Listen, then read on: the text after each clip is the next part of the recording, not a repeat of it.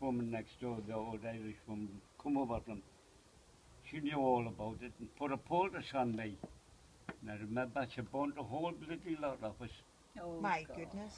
I shouted out, I shouted out. How old were you? I was only about uh, four year old. For goodness Yeah. sake.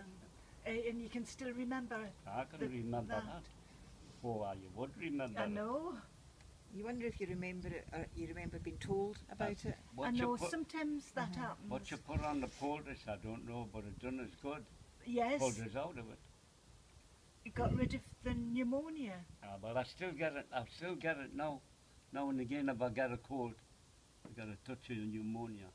I had pneumonia, I remember, Oh yeah, when I was about seven. that's right. I, I remember that.